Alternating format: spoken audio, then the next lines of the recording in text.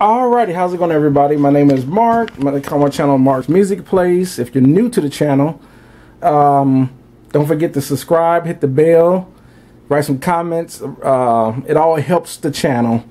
Now, the video I did before this was about how to use the analog console in your home recording studio. Now I'm going to talk about how to route it, um, how it's routed, so that way um, you'll know how to route one in case you don't have one like this because there's so many different types of consoles. Uh, it's hard to really pinpoint exactly one, but hopefully the ideal is you'll get the the concept will be the same. So the last oh I'm hitting the I'm hitting the scroll button. Oh get out of there! I'm hitting the the, the zoom button. Get back, get back, back, back, back, back, back, back. Okay, I gotta stay away from that button. It's easy to touch. Okay, this I, last one I was demonstrating through through Cakewalk, but I'm gonna demonstrate through Studio One and let you know that this can be done in any DAW. Doesn't matter if you're using Pro Tools, Logic. It doesn't matter because we're focusing on the console. Now, the console is broken down like this. Uh, each channel, um, you're gonna have your microphone input. So this is your gain knob, easy at the top, for the microphone, for the, for the preamp. Every console like this will have a preamp. So there is a line input for instruments to go, or instruments or a direct line, um, line level, in, line level in sources to go through the line, or microphone sources. So you can switch between the two. You could use the mic or a line. Just like you would if you had an external piece of preamp gear in a rack. Same thing. Except this one has a direct out so you can record from that channel to an external uh, to an external recording source. And then there is an insert because you want to insert a piece of gear on that channel. Then there's the preamp. Then there's an EQ section. It's almost like you're looking at a uh, like a channel strip, but that's what that's why they're called channels except they're not individual. They're all channels on the board, right? And then you have your auxiliary sends for, for routing, routing to auxiliary channels out of the board. And then there, this one, this board actually happened to happen a second mix section to listen to a second mix if you wanted to. But this also there is the fader, main fader. There's the pan, there's the solo, there's the mute, and then there's the bus assignments. The send the bus to route the buses. All that that's the basic layout of a channel in the console. There's 24 of them, so there's they're all identical, which tells me there's 24 microphone preamps on this board. So you have 24 microphone preamps. So that gives you plenty of preamps to track a band, right? Now, with that being said, if you wanted to, you can insert microphones. Um, like I have a microphone on channel 9.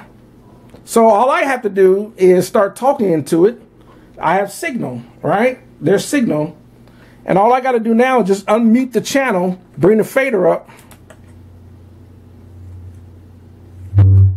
Okay, so now the fader up, now I can start talking into the microphone. So, because I'm using the preamp on that channel for this microphone. Too easy, right? So now I'm going to I'm going to engage the EQ. Turn the EQ. I'm going to engage the EQ a little bit. All right, now I'm using the EQs on this as well. So there you have it. All right, so there. All right. So if I want to use the EQ and the preamp, that's what I'm doing.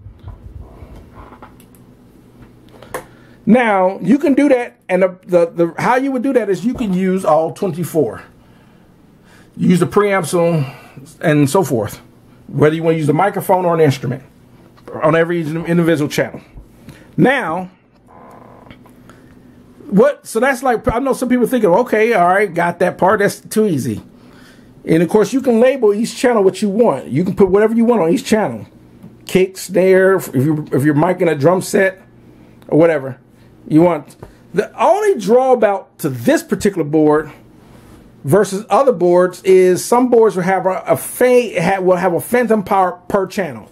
That's ideal. This one uh, only will engage the phantom power on a condenser mic. Um, and you can't you and it does it in groups of eight, but that's a different that's a different video. So moving on, then you have your bus assignments. So the point of this, the point of this is that not only can you record direct out on each channel. So if I, for example, if I was going to come in Studio One, I got this my keyboard here, right? I have a keyboard patch here. So if I undo these channels, bring the volume up,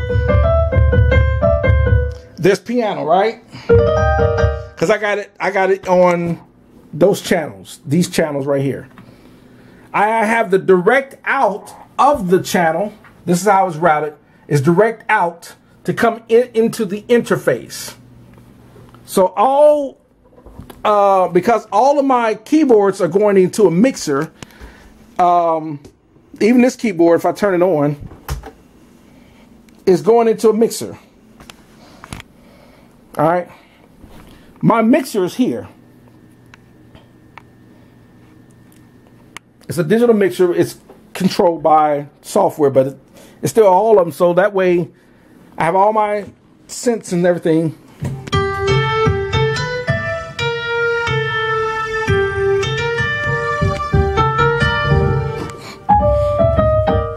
Right? So now all that direct out. So it's routed to go to that mixer. The mixer's output is designed to come out of the mixer to come into that those channels. And that way I can monitor it through the, the through the console for recording. So if I was to come into I'm in Studio One. Um, if I'm in Studio One and I want to see um, for example, okay. All right. Okay, I got I forgot to set this up. So Okay. All right, done. All right, now I want I want this to see. All right, so I'm to arm this. So now,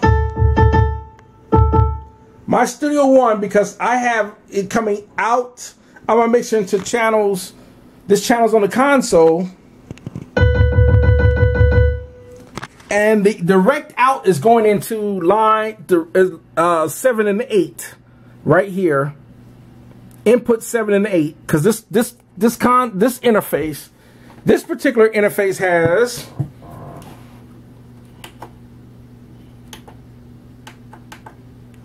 it has one, two, three, four, where there's four, four inputs, because those are microphone preamps on this interface, and then five, six, seven, and eight which do not have preamps. They're just inputs.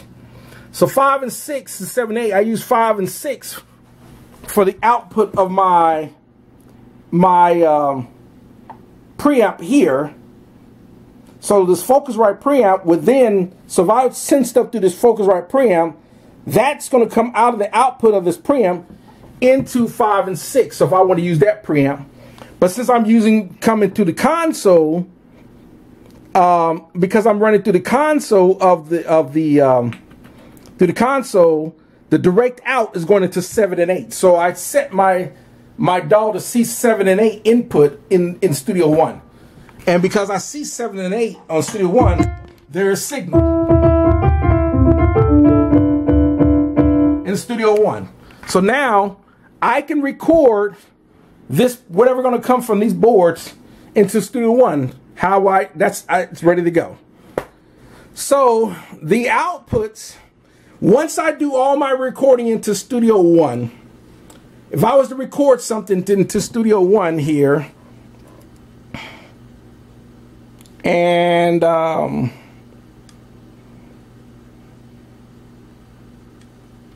Okay. Uh, let's see. Do I want to pre-count? Click and play. Um, let me see. All right. Metronome on, metronome off. So now I can play something, record something.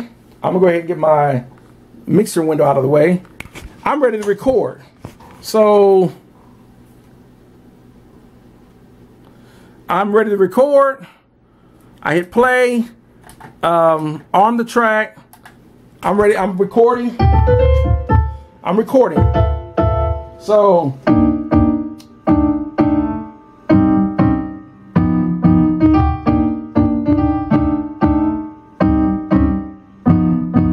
right?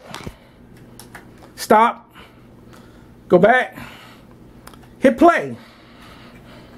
Now, it's recorded. It just recorded what I just did, right?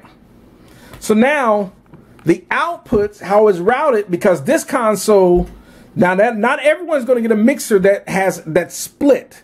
This is why these type of consoles are more ideal for recording. If you can get your hands on a console that's designed like this because sometimes you have to use you're like well i'm sometimes you have to send the output of your interface into other channels well this has 48 channels so but sometimes people don't have a mixer that has 48 channels or whatever sometimes they have it's only 24 channels or 32 channels or whatever what's nice about a console like this is that I can dedicate all 24 channels for recording, for sources to record into my DAW. That's what's great about a console like this. The output of my interface, which are here, these are these colored uh, cables, are now returning into a separate set of inputs on the same channels. So 1 through 24 would be inputs to record stuff. Drums, keyboards, instruments, microphones, whatever, you know, whatever. I have another set of 24 um, inputs for returns. Here, 1 through, so you got 1 through 8, 9 through 16, 17 through 24 here. The reason being, for that very reason, is I can split the console so I can have multiple sources on the same channel and I just go between the two. And that was the purpose the purpose of that was for that so that you in the old days this would have recorded to a tape machine whether it would be a Tascam DA88 some ADATs an actual 24 track Studer tape machine or whatever you would run it direct outs to a tape machine the returns from the tape machine would then go into these these right here. All these 24 returns would come back in. And you would just flip the console from monitoring what's coming from your live room while you're ready to record whatever instruments on those whatever you have whatever you have mics or instruments on these on these inputs once you've done record it into your tape machine but in this case we're using a DAW like Studio One or Cakewalk or Logic or Reaper or Harrison Mixbus or whatever you're using. And all that's coming routing through the interface. That's why the inputs on your interface and the outputs are not connected. Okay? So when you record into the input, so the output of the DAW is now that I recorded that, the output is going to come out lines one and two. So this is lines one and two, red and blue here, into channels one and two here, red and blue. So it's going to come out of into channels one and two because it says lines one and two in the DAW, right? Because that's where I got it assigned. And so I can come back. I can play this, this track after I do all my editing or whatever if I'm happy, whatever. As you can see, it's playing.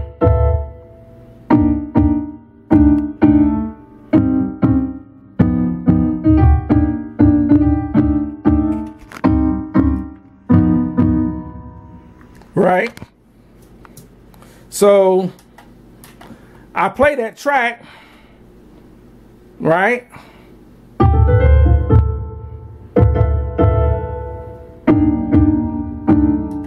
So now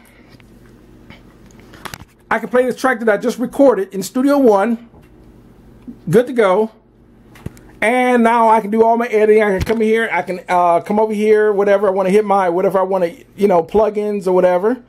If I want to use, uh, if I don't want to use an external insert plugin like a compressor on a channel, I got inserts to run compressors. I can insert it on that. Like for example, in this channel, one and two, I got an insert here. And that's going through this compressor rack and I can use the compressor in this rack here. I can bypass this and maybe I don't want to use that or maybe I want to use that in combination with a plug-in. So because it's going through that, so I might come in here and let me add in a little compressor. Let me add another set, another compressor, right? So I'm gonna come over here and add in another compressor, right? So um let's see what I want to add. Let me add in. I'll add this compressor for now. Okay. So I just added a plug-in compressor. Got to excuse the light. My light up there. You got to excuse that light. I added this compressor here, right? Peak reduction, whatever.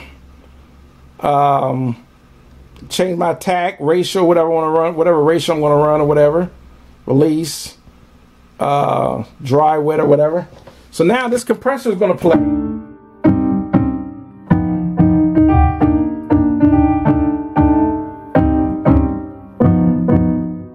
So right,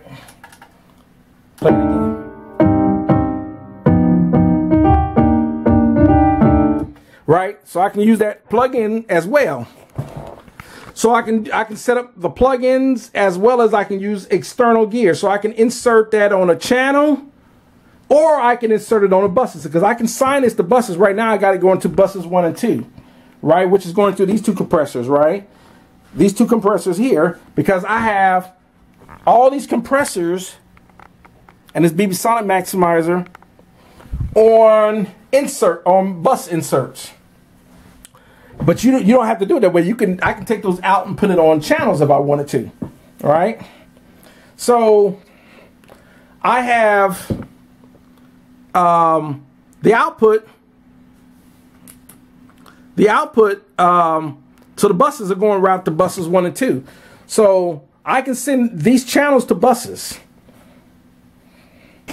That way I can send all, if I had drums or I can take all my outputs and I can sign them to outputs.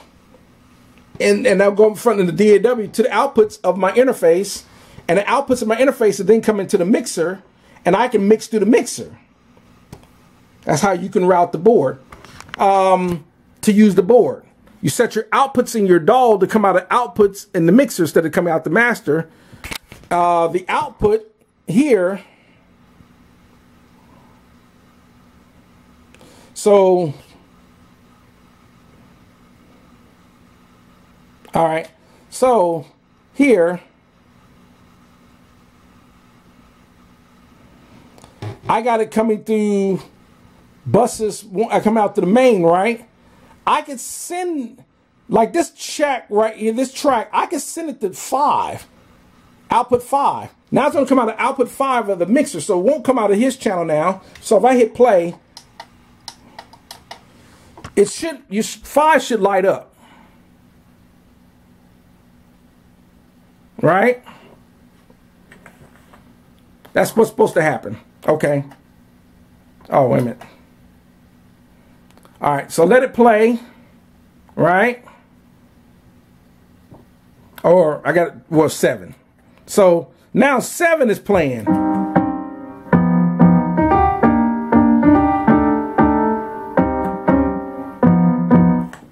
So so whatever you can route, how you ever you want to route, um, like three, I put it on sub three. So now this should come out of five. So I come back and hit, uh, if I hit five again, right?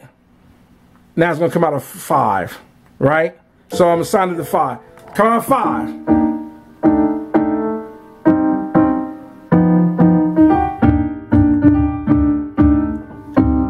Right? So you can send your outputs of your DAW out however you want, okay? And that that's the benefit of recording, so that way you can route out to the mixer. You also have the choice if you're recording, you don't have to record from your direct outs. You can record from your bus outs. This console has bus outs here. So if I was send stuff, to, I can send all instruments into the channels, route them to a bus, and then I can record from a bus into the DAW if I wanted to. It depends on if you want to group stuff together and record it, or you want to record things individually by using direct out on each individual channel. So it just depends on what you're trying to do. Other than that, the master, the master, like I did in the other video, once you once you've done your mixing and you set all your outputs to come out of your DAW, and you got everything coming out from your channels into your buses, and your buses got whatever inserts you got on your search. A lot of times you would have a patch bay. And I'm going to do a more in depth um, when I explain when uh, it's going to be better to explain it in my bigger setups upstairs because I got a lot of outboard gear up there. So it makes more sense. It's more beneficial, especially when you got a lot of outboard gear. Um, so that way you can route, insert stuff on channels or, or the buses and then once you get done, you can even put a, a uh, insert something on the master bus, an EQ, a compressor. You can chain it, but you everything would go through your patch bay for your master bus, and then you would print your master bus back into your DAW for your final print. So that's how you would route, and the output of the output routing would come here. That output would come out not to go to your speakers, the out main out, the main mix balanced out is designed to go into the back into the interface to print a, a final mix. The this is there is a main uh, here, but this also says control room.